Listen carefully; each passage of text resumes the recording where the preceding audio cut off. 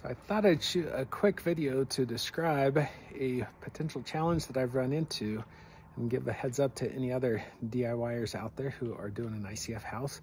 I'm currently standing on the fifth level of my multi-generational passive ICF house that I've been DIY building mostly on my own.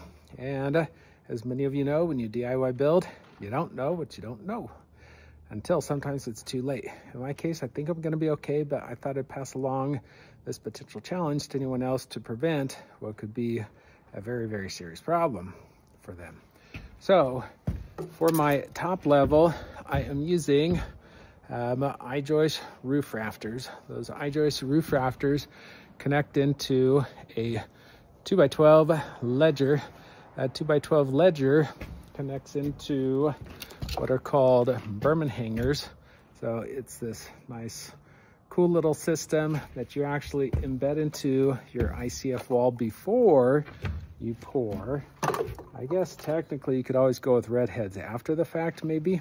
I don't know how the structural engineering works for that, but I do know that when it comes to these ICF Berman hanger ledgers, they are structurally engineered and tested to be able to handle the load and everything that's going to be required once my roof rafters are connected into the um, 2x12 ledger. So to make that connection, I'm using this Simpson hanger.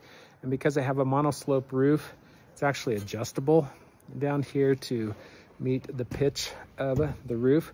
But as you can see, that's pretty wide. And as you can see up there, those bolts for that go into the Berman hanger, those are pretty serious too.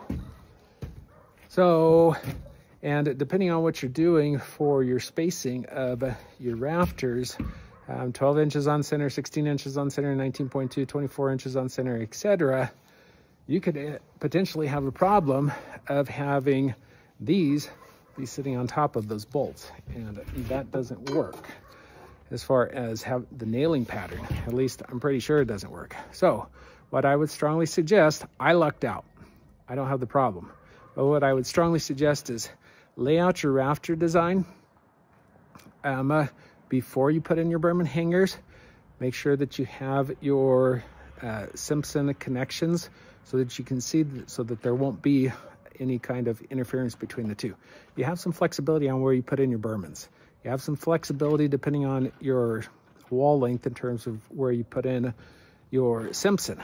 So just make sure that they don't interfere with each other before you pour. So be sure to like and subscribe and thanks for watching.